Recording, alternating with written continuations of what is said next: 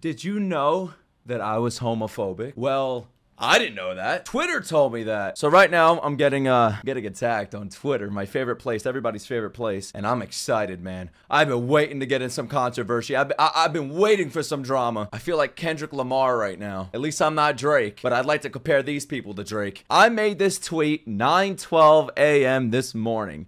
Bro, I don't know why, but I just saw some posts about the whole Bakugo Dekugu Dekugu Bakugo Deku shipping shit, and I kind of get some of the MHA fandom hate now. The shit is weird. Thank God I stay away from fandoms and I just enjoy the shows. So you know what posts I saw?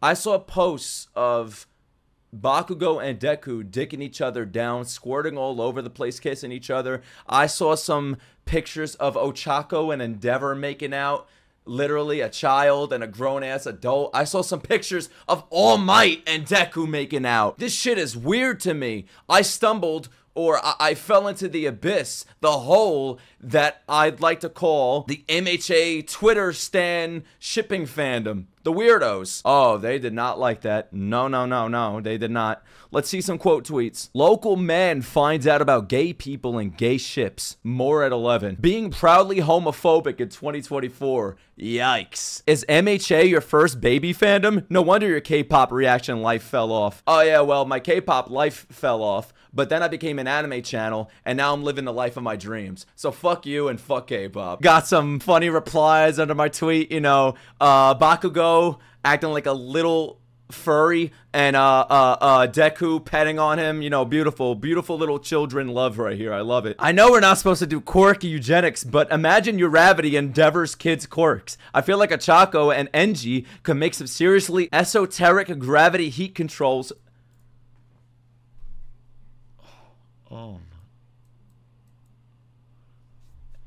So this is what I'm getting canceled over, talking about shit like this. I'm sorry, but if you want to cancel me over saying something about this, you could eat my ass. So now I want to show you basically where it all started, right? This person replied to me saying, just a thought.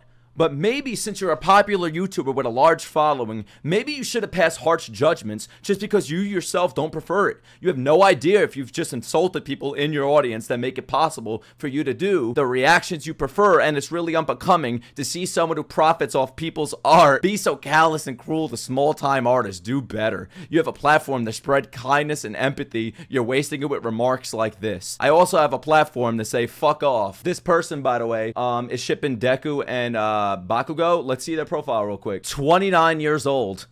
That's all I have to see. Shout out to your boy Rock Lee, by the way. This is what he says. It would be a betrayal to everyone who followed him to this point to stop being himself. He has a large following of people who want to hear his thoughts. I don't always agree, but at least he's genuine and I know the person. Imagine a larger people follow for you, then you get big and deny them the very reason they are here. That's what the fuck I'm talking about, bro. I'm not here to be anyone else but myself. I will forever speak my mind, my opinion. I'm a very opinionated person. I've always been. When I was doing K pop reactions and pop reactions, I wasn't allowed to be myself because if I was myself, I wouldn't have a career. And honestly, I wanted a career, I wanted money. So I toned myself down. I was very simple. I was very not myself. I wasn't me, and that's what that audience liked. The second I was me is the second they all fucking left. Now that I do anime, I'm able to be myself. I'm able to speak my opinion. And I found a huge audience that actually respects and loves me for that. A lot of people leave, a lot of people join. To the people that leave, go and find somebody else.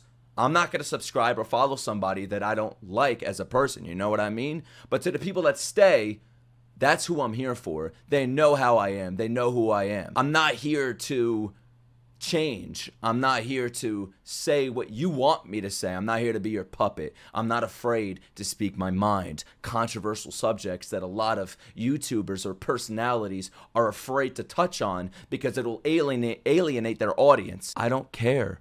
I simply don't care. And if you want to cancel me, whatever. I've been canceled like three, four times, and I'm still here. I'm still almost about to hit a million subscribers, making over 100k views per day. People watch me for me. Do they watch you? No, they don't give a fuck about you. This isn't about homophobic, right? I'm not homophobic. Don't use those buzzwords on me. Don't use those Twitter words on me, all right? Nowadays, everybody's homophobic. Everybody's racist. Everybody's sexist. Everybody's transphobic. This phobic. This is. This, that, that, that. Everybody is something nowadays. And the second you use that wording is the second I stop taking you serious and I tell you to go check into a fucking mental asylum. All I'm here to do is to make the content that I want to make be myself, have fun, and hopefully make people smile. And I seem to be doing a great job at that because a lot of people watch my videos. A lot of people talk to me every single day saying that I make their day, that I make them smile, that I make them laugh. If I make you sad, if I offend you, just unsubscribe from me. Just block me. Just unfollow me. It's simple as that.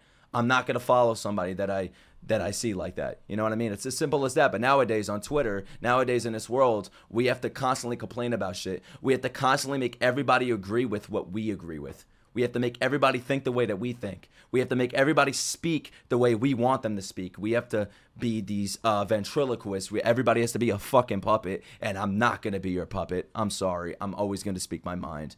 And if you have a problem with that, fuck you. Stand on your shit. Don't let these Twitter pussies try to guilt you with all this cancel culture nonsense shaking my head. Convince these people would have an aneurysm if they were ever in a COD lobby in the early 2000s. Exactly, bro. If they hit a COD lobby back in the 2000s, forget about it. They wouldn't be here a minute later. They'd be crying on the microphone, and those people in that COD lobby would annihilate them even more. I'm from a different generation. This generation is trying to lecture me, that's trying to point me in the direction that they want to point me in, that they're in, that want me to think the way that they think, they don't know me. They they don't know that I don't fuck with that. That's not me. That will never be me. I've been waiting. I've been waiting to talk some shit like this, bro. It feels good to let loose. But um yeah, man. Uh so I'm gonna continue doing what I want to do. I'm gonna continue saying what I want to say. And if you have a problem with that, it doesn't matter. You know why? Because I'm here to stay and you can't do anything about that. I'm to continue watching anime. I'm to continue talking shit.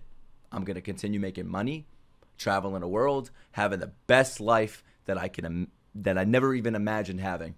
And you can't do anything about it, and I hope that pisses you off. Sayonara.